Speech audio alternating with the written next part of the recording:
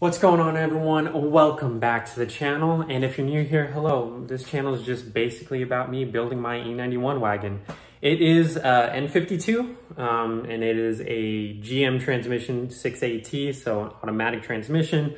Um, but yeah, that's just a little bit of my um, car. If you um, haven't seen any of my videos, please go and view them. There is one of my build breakdown that I recently just did and you can know more about what I've done to the car. But if you're a returning subscriber or you're just returning on viewing my videos, hi and welcome back. Um, but please hit that subscribe button. It would help me out a ton. Um, but really just an update on what I'm going to be doing. Um, I have two things that I've been, um, well, I've been waiting on one thing and I've been working on another one. Um, I did a E90 M3 mirror conversion and I've been using stock parts.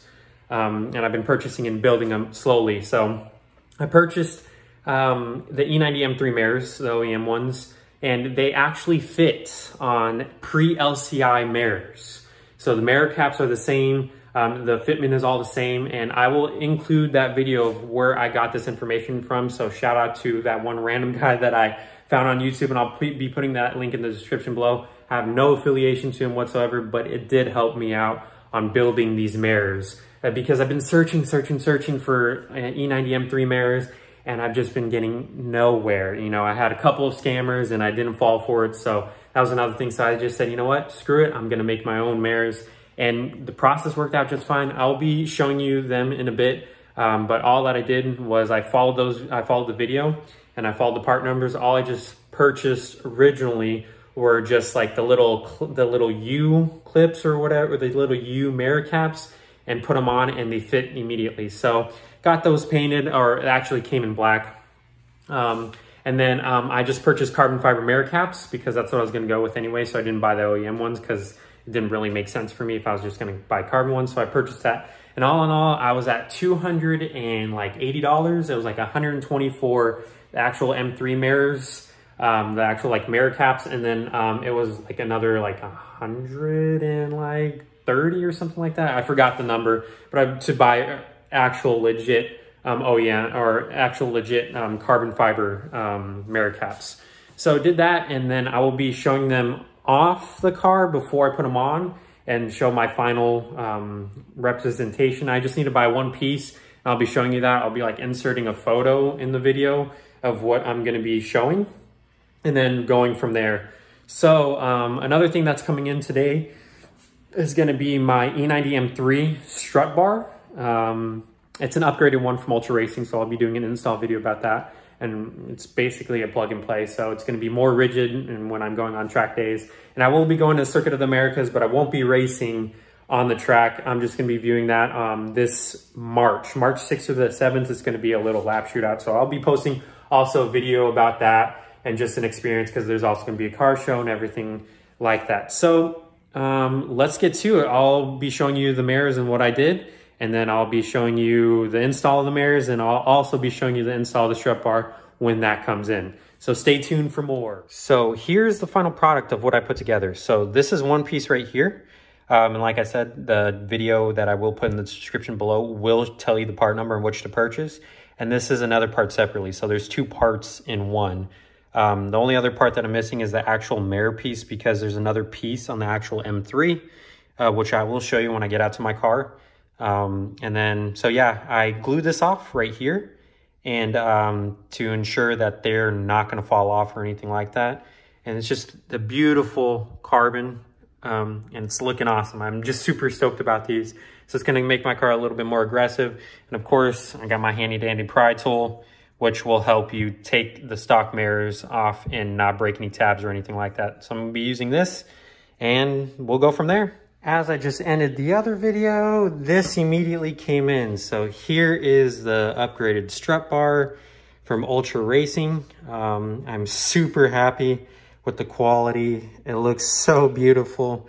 This is gonna definitely add rigidity to my vehicle as I do drive it um, and track it. So I will definitely put this to the test when I do go to an autocross event and show you guys my review. So now I am finally matching with a front and rear um, Ultra Racing strut bar. On the rear, unfortunately, you will not be able to locate the rear one. If you do, it's they're super rare. So I definitely have faith in you guys trying to find some. So I found a rear one that, of course, like I said before, they do not make anymore. But I will be installing both of these on my car right now. So I'll be heading out there and I'm just super excited and I can't wait to throw this on. So I decided that I'm gonna work on the big piece first. Um, it's pretty simple and plug and play. Um, it's only if you have the M3 strut bar. You cannot do this if you don't have this. So it's just basically these eight bolts and then you just put it on and you're good to go. I got to take off these zip ties because I, and also modifying the cowl right here as well.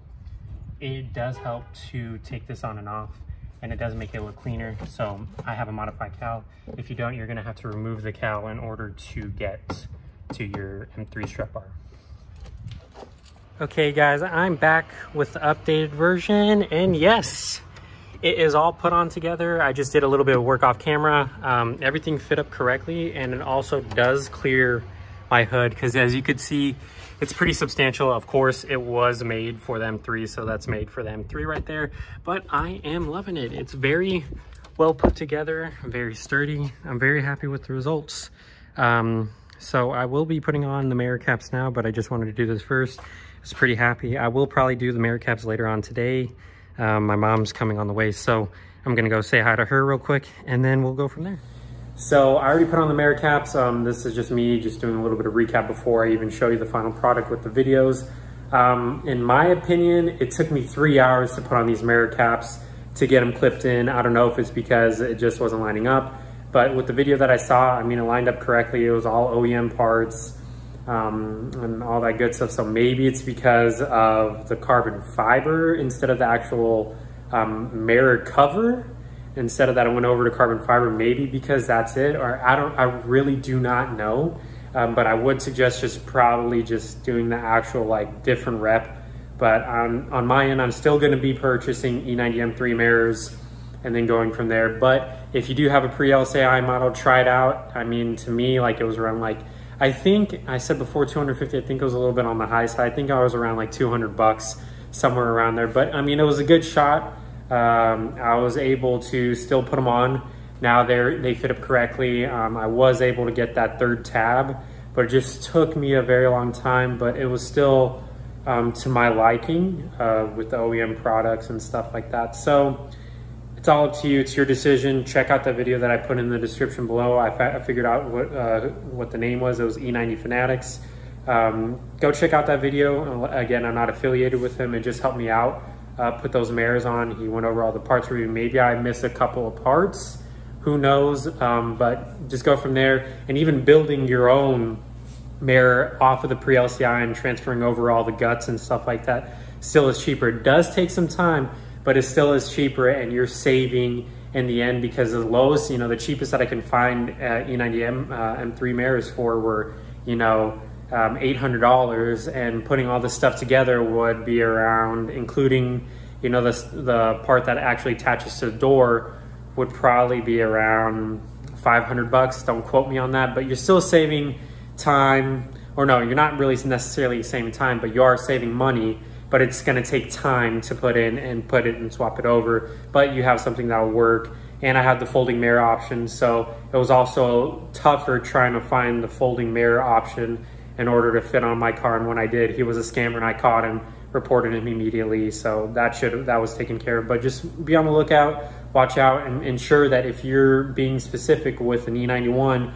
or E90, it has to come off of an E90 in order to fit on your wagon or your sedan. You cannot fit uh, 92 or 93, the vert or the coupe onto your onto your door. So be on the lookout for that. And so enjoy the rest of the video. So I finally put on the carbon fiber OEM E90 mirrors and they fit pretty eh.